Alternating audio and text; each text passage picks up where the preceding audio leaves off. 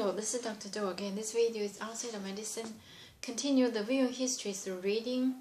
I'm going to continue to read. Remember that you were slaves in Egypt, and that the Lord your God brought you out of there with a mighty hand and an outstretched arm. Therefore, the Lord your God has commanded you to observe the Sabbath day. Honor your father and your mother, as the Lord your God has commanded you so that you may live long and that it may go well with you in the land the Lord your God is giving you.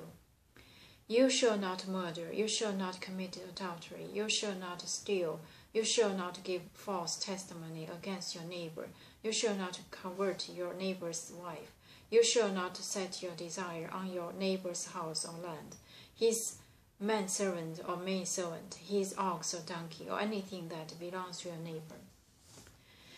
These are the commandments the Lord proclaimed in the loud voice to you, whole assembly there on the mountain from out of the fire, the cloud and the deep darkness, and he added nothing more. Then he wrote them on two stone tablets and gave them to me.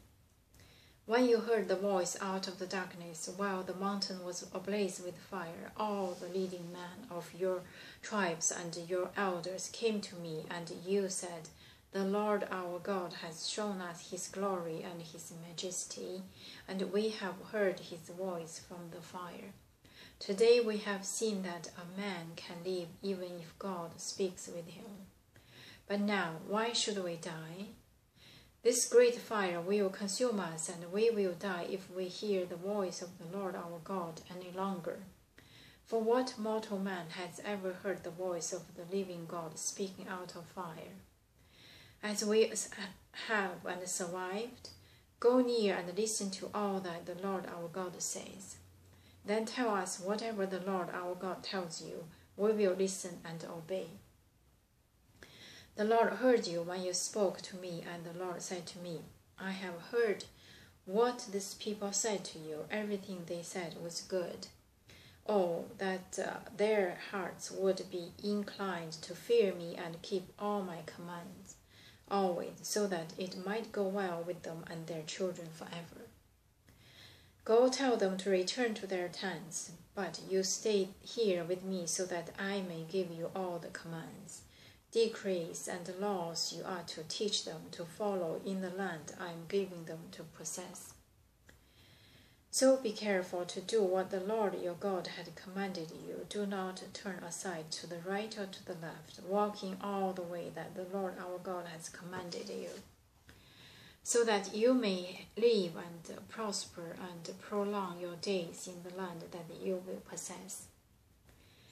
Love the Lord your God. Chapter 6 These are the commands, decrees, and laws the Lord your God directed me to teach you, to observe in the land that you are crossing the Jordan to possess, so that you, your children, and their children after them may fear the Lord our, your God, as long as you live by keeping all his decrees and commands that I give you and so that you may enjoy long life.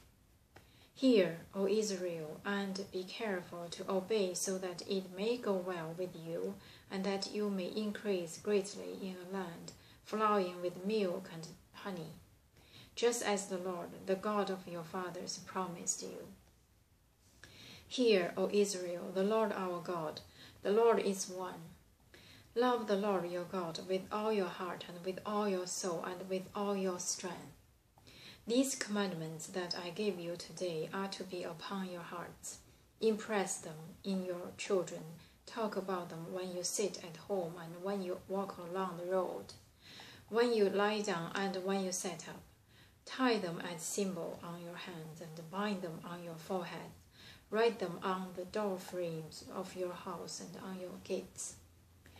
When the Lord your God brings you into the land he swore to your fathers, to Abraham, Isaac, and Jacob, to give you, a land with large flourishing cities you did not build, houses filled with all kinds of good things you did not provide, wells you did not dig, and vineyards and olive groves you did not plant, Then, when you eat and are satisfied, be careful that you do not forget the Lord, who brought you out of Egypt, out of the land of slavery.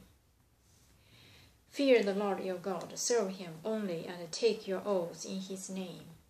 Do not follow other gods, the gods of the peoples around you. For the Lord your God, who is among you, is jealous God, and his anger will burn against you, and he will destroy you from the face of the land. Do not test the Lord your God as you did at Massah.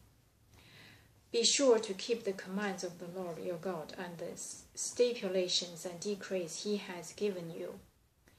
Do what is right and good in the Lord's sight, so that it may go well with you and you may go in and take over the good land that the Lord promised on oath to your forefathers, thrusting out all your enemies before you, as the Lord said.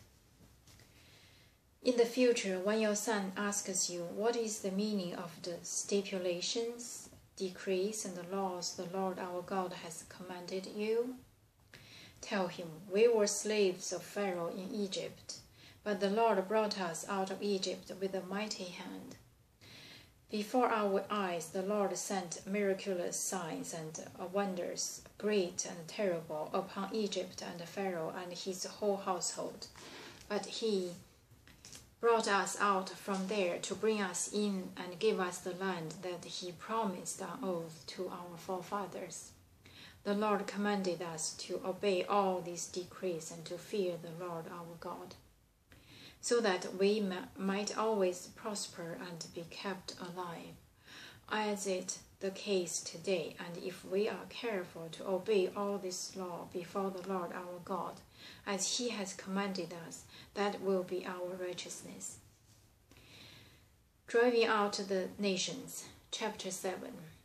When the Lord our God brings you into the land you are entering to possess and give driving out before you many nations, the Hittites, the Girgashites, Ammonites, Canaanites, Perizzites, Hivites, and Jebusites, seven nations larger and stronger than you, and when the Lord your God has delivered them over to you and you have defeated them, then you must destroy them totally. Make no treaty with them and show them no mercy. Do not intermarry with them. Do not give your daughters to their sons or take their daughters for your sons for they will turn your sons away from following me to serve other gods, and the Lord's anger will burn against you, and will quickly destroy you.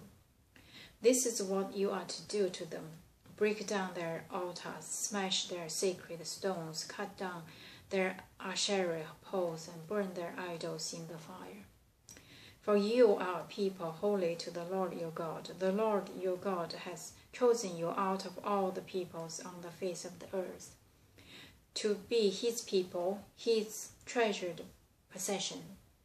I'm going to stop here today and continue next time. Thank you for watching. Hello, this is Dr.